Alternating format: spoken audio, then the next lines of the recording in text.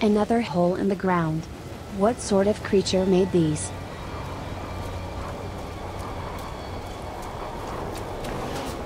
This is Traveler Diaz of Rising Nimbus. Entry log number 73. My team and I stumbled upon strange pits and tunnels throughout the planet. We searched far and wide, but were unable to uncover the truth behind these tunnels. What creature that dug these tunnels must have died long ago. We believe all evidence of this mythical creature were taken by the Sentinels. This was evident by the creatures we hunted and studied. In our labs, the Sentinels would come. We were powerless to stop them. What sentinel could have taken a creature of that size?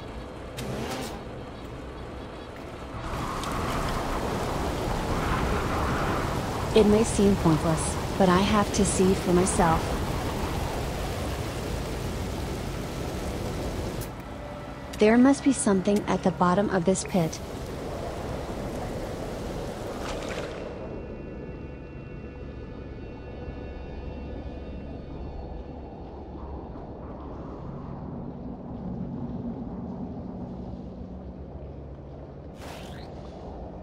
Nothing. Nothing but sand. Where did the creature begin its dig? From the bottom or the top? Could it? Could it have been a creature that rose beneath the sands? DEOS must have more entries concerning the creature.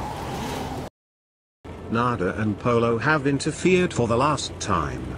I will not lose another traveler to those bests. Ensure that she returns to the space station.